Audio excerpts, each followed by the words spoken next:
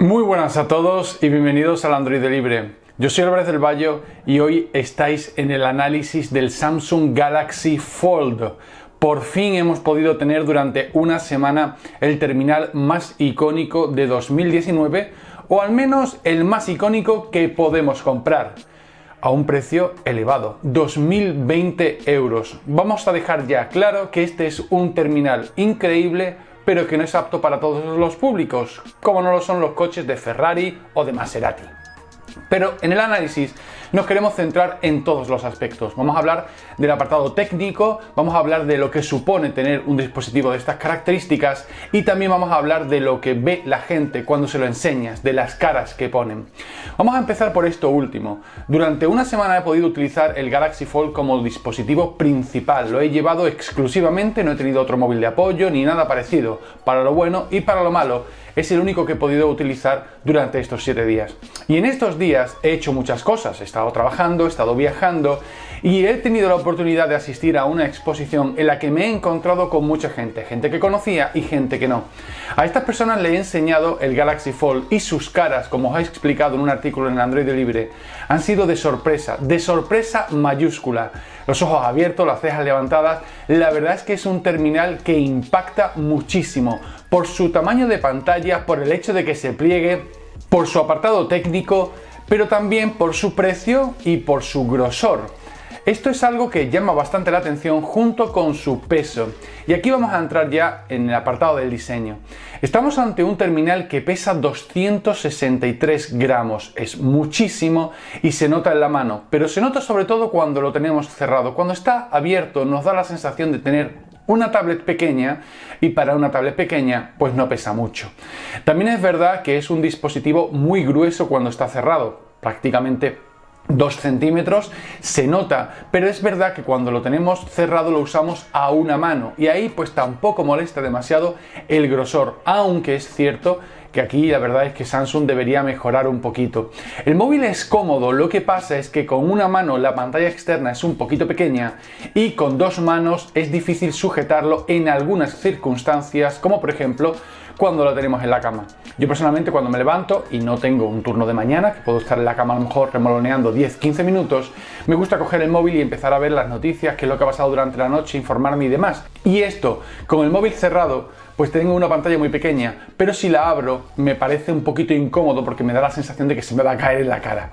O sea que en este caso concreto de uso me resulta un poquito incómodo, pero en el resto de momentos, cuando estoy en la calle, cuando estoy en el sofá, cuando estoy hablando con alguien, cuando tengo que consultar algo, en todos los momentos eh, aparte del que he comentado, me resulta un móvil bastante cómodo de usar y la pantalla interior, el tener esa pantalla ahí cómoda, grande, es una gozada.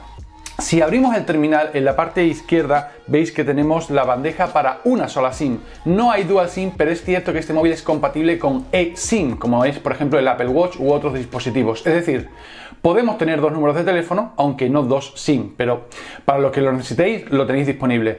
No hay tarjeta de memoria, ya veréis luego que la memoria interna es más que suficiente, y tampoco tenemos jack de auriculares. En la parte superior tenemos uno de los altavoces y un micrófono de cancelación de ruido. En la parte inferior otro de los altavoces y el conector USB-C junto con el otro micrófono. Y en la parte derecha tenemos los dos botones de volumen, el botón de encendido y el sensor de huellas, en una posición que a mí no me gusta porque no me gustan los sensores de huella en el lateral. En la parte trasera lo que tenemos son tres cámaras, que son las mismas que tiene el Samsung Galaxy S10 Plus, por ejemplo, con un flash. Y en la parte frontal tenemos una pantalla de 4,6 pulgadas, una pantalla pequeña con unos marcos bastante grandes, hay que decirlo, esto la verdad es que es mejorable. Y tiene una relación de aspecto 21.9 con 1680 x 720 píxeles con tecnología AMOLED. También tenemos en la parte superior de esa pantalla una cámara de 10 megapíxeles. Y dentro tenemos una pantalla de 7,3 pulgadas con una resolución 2152 x 1536 píxeles. Tecnología Dynamic AMOLED y 362 píxeles por pulgada y un notch que incorpora dos cámaras. La primera es de 10 megapíxeles, igual que la exterior, y otra de 8 que sirve para medir la profundidad. Es un sensor de medición de profundidad con 8 megapíxeles, que no es lo normal. Lo normal es que estos sensores tengan 2 megapíxeles. La experiencia, como digo, usándolo es muy buena y es verdad que la cresta o la arruga se nota cuando pasamos el dedo, pero es algo a lo que te acostumbras muy rápido. Es como un notch. Puede molestar, está ahí, pero es algo que no acaba siendo un drama en el día a día. Incluso la gente cuando lo ha cogido y lo ha tocado, ha pasado el dedo por encima para probarlo, lo ha dicho y dice, bueno, se nota, pero no parece esto un problema. También es verdad que la bisagra está muy bien construida. ¿Por qué? Porque hace que el terminal se fije cuando está abierto y luego unos imanes en los laterales hace que se cierre y que no tenga un tembleque, que no vibre o que no tenga holgura ninguna cuando lo tenemos cerrado. La construcción del terminal es muy buena. Además, como ya sabréis, este móvil se tuvo que retrasar para corregir algunos fallos de producción o de fabricación y que han sido corregidos. Yo no he tenido ningún tipo de píxel muerto, no me ha dado la sensación de que se haya arañado ni nada parecido. Eh, la parte superior de la pantalla y la inferior en la bisagra están tapadas con un elemento plástico y el protector llega hasta los laterales. Es decir, que en el apartado de diseño, de usabilidad, no tenemos ninguna pega, dejando claro que esto es un dispositivo diferente de un smartphone normal y diferente de una tablet. Está a medio camino y hay que tratarlo como tal. Podemos tender a compararlo con un teléfono móvil, con otra tablet, pero es que no es exactamente lo mismo y la verdad es que se nota. Ahora nos vamos a hablar del rendimiento y de la potencia. Tenemos un terminal con un procesador Snapdragon 855, no es el 855 Plus porque este terminal fue presentado a primeros de año, pero es un rendimiento más que suficiente. 12 GB de RAM y 512 GB de almacenamiento interno ultra rápido. La experiencia a la hora de usarlo es que el móvil vuela, no tenemos ninguna pega, el rendimiento es muy bueno y lo único es que en algunas aplicaciones el notch molesta, como veremos luego hablando de la interfaz. Pero como digo, tenemos NFC, tenemos carga inalámbrica, tenemos carga rápida, aunque hablaremos ahora de la batería, aunque eso es mejorable, no tenemos jack de auriculares, no tenemos radio, no tenemos micro SD. La conexión Wi-Fi es muy buena, no es la mejor que he probado, pero está del orden de los 450-500 megabits por segundo en una red de 600. O sea, que a lo mejor no es un 10, pero un 8 sí. Tampoco es esto, como digo, un inconveniente. Pero la potencia es la de un gama alta. Es verdad que es un móvil que cuesta 2020 euros. Ya podía tener un rendimiento bueno, pero lo tiene. Es verdad que aquí no eh, difiere demasiado de móviles que cuestan la mitad, pero es que la esencia de este terminal es la pantalla, es el uso, no es la potencia. Y aún así os digo que la potencia va sobrado, que de memoria va sobrado y que no vais a tener ningún inconveniente. Vámonos ahora a hablar de las pantallas porque este es su punto fuerte, como digo. La pantalla exterior, como hemos dicho, tiene resolución HD Plus 4,6 pulgadas y la interior Full HD Plus 7,3 pulgadas. Las dos son OLED, la exterior es de cristal y la interior es de un polímero plástico que tiene un tacto bastante bueno. Yo lo recordaba peor cuando lo pude probar brevemente en un viaje de prensa y aquí me ha gustado mucho. El tacto como tal no me ha supuesto un problema, es casi lo mismo que utilizar la pantalla externa. Es verdad que como digo, cuando pasamos el dedo por encima de la bisagra sí que se nota esa transición, pero la realidad es que normalmente el scroll lo hacemos de arriba a abajo, en un lado o en otro, pero no horizontalmente, normalmente digo. Y es cierto que cuando hacemos scroll muy rápido, arriba y abajo en un texto se ve como los dos paneles eh, funcionan de forma diferente. Me explico. Es un solo panel, pero es verdad que quizás eh, una zona esté eh, controlada por un controlador, valga la redundancia, y otra por otro. Y hay un cierto desfase. Esto tenemos que hacerlo prácticamente en un texto muy grande, con un fondo blanco y se nota, pero es algo que lo he tenido que buscar, no es algo que me haya pasado haciendo scroll en Twitter o en Facebook, al menos a mí. Pero que sepáis que está ahí, que es algo que tienen que mejorar, que no es un drama, pero que está ahí. ¿Cómo se ve la pantalla a la luz del sol? Pues se ve bien, lo que pasa es que los reflejos son un pelín mayores de lo que me gustaría, sobre todo porque Samsung tiene unas pantallazas increíbles, las de los Note 10, S10 y demás móviles de gama alta, y aquí está un poquito por debajo, pero la tecnología es la que es, no tenemos un cristal, tenemos un plástico y se nota un poquito, pero tampoco me ha dado la sensación de que sea un problemón. Es verdad que lo he estado usando durante una semana, pero el clima aquí ahora es el que es, estaba nublado, no pegaba el sol directo como pega muchas veces en el sur de España y no he podido hacer esas pruebas más a fondo, pero no me ha dado la sensación de que tuviera que ir buscando la sombra los ratos que sí que había, que había sol. En cuanto a la configuración de la pantalla, podemos poner tres eh, aplicaciones a la vez y luego encima ir abriendo ventanas de muchas más. Mi experiencia es que lo de las tres aplicaciones me parece un poquito exagerado, pero es verdad que me he encontrado usando WhatsApp en un lado y Chrome en otro, navegando, buscando cosas mientras hablaba eh, con alguien por WhatsApp. Y eso me ha resultado bastante cómodo. Ampliaremos eso luego, como digo, en la parte de la interfaz. Nos vamos ahora a hablar de la batería. Y la batería de este modelo es bastante grande, no es de las más grandes que hemos visto, pero la verdad es que tampoco nos da la sensación de que sea un problema. 4.380 miliamperios. Tiene carga inalámbrica de 15 vatios, o sea que vale, aceptable, no es la más rápida, pero bueno. Pero la carga rápida por cable es de 15 vatios. 15 vatios. Hay móviles de 200 euros con carga de 18 vatios.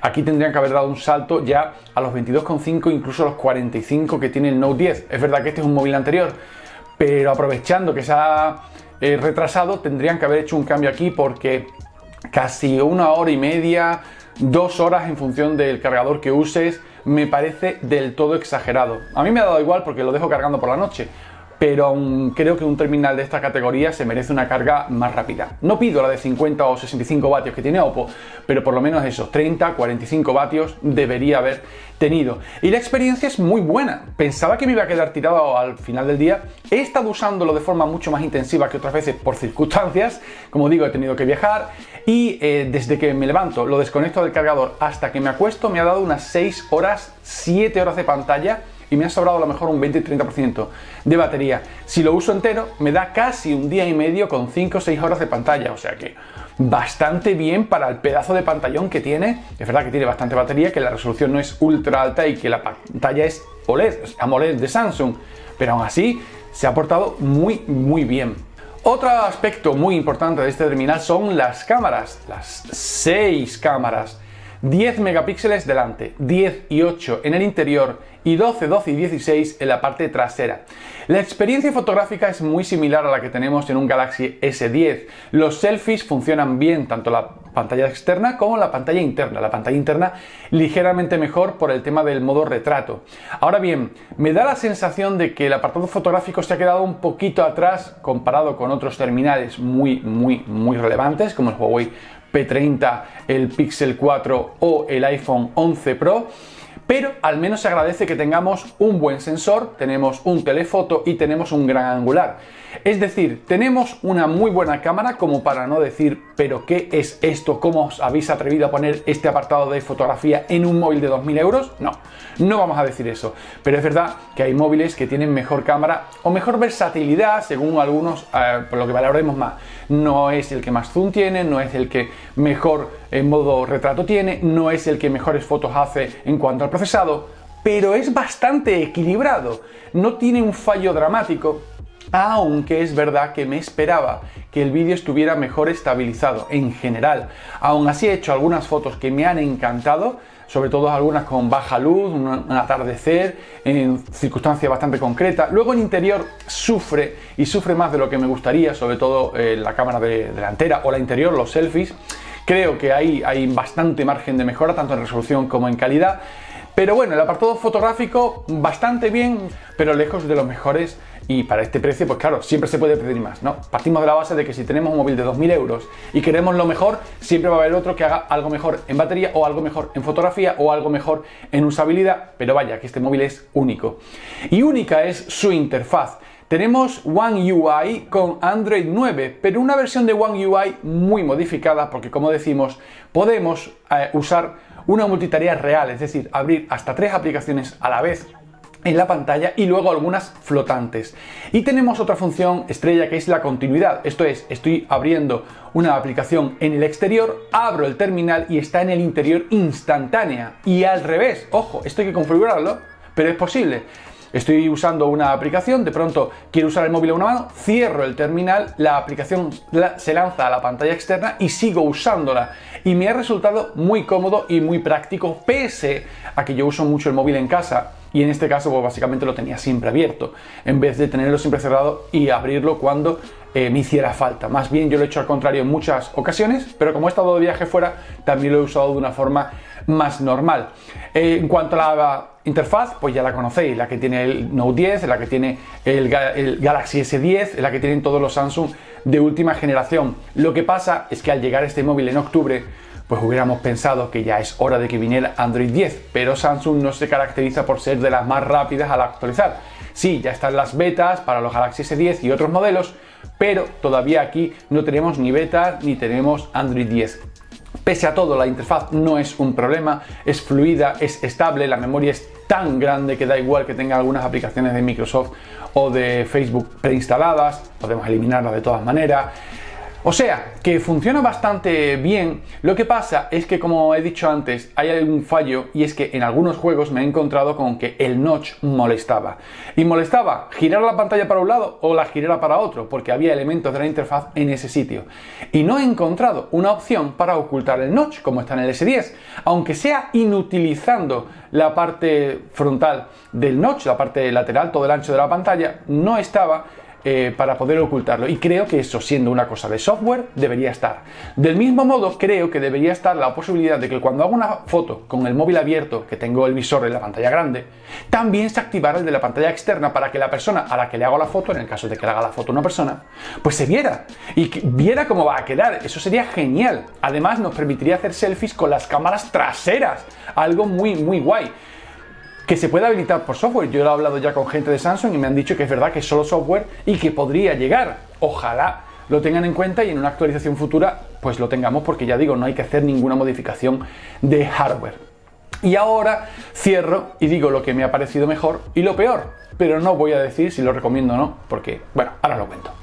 Lo mejor, el formato, es un móvil único, es increíble. Si queréis un móvil exclusivo, que la gente eh, se quede con la boca abierta literalmente al verlo, este es vuestro móvil.